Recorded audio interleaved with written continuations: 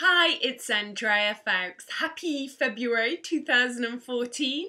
Um, in England, that's very difficult because of the crazy, crazy weather. I mean, there's a million and one reasons what's going on with this weather. And, you know, I've been posting all of the reasons out there. You know, there's the Agenda 21 with the Somerset levels where I, I live, um, which is, you know, is this the government purposely flooding?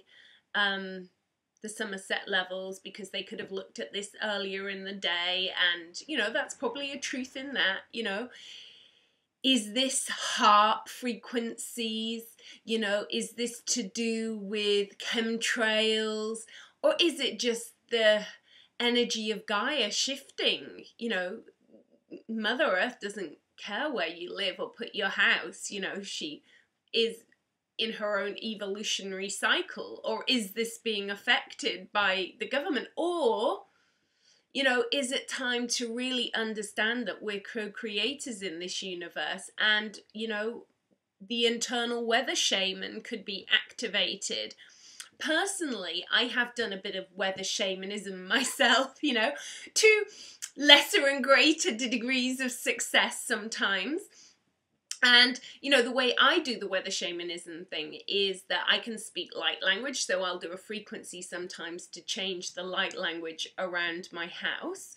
Or sometimes in the past i've taken the weather inside myself energetically in my heart and then pulled it out as i want it to be.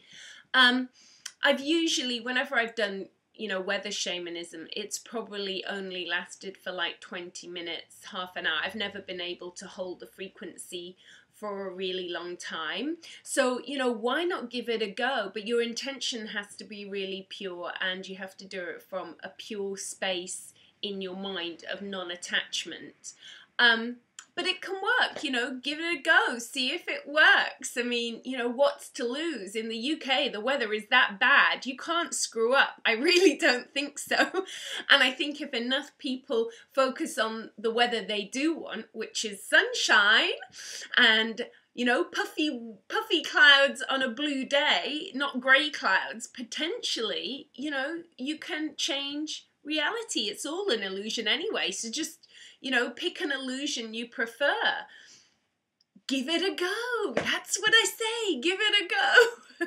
Bye for now. Bye.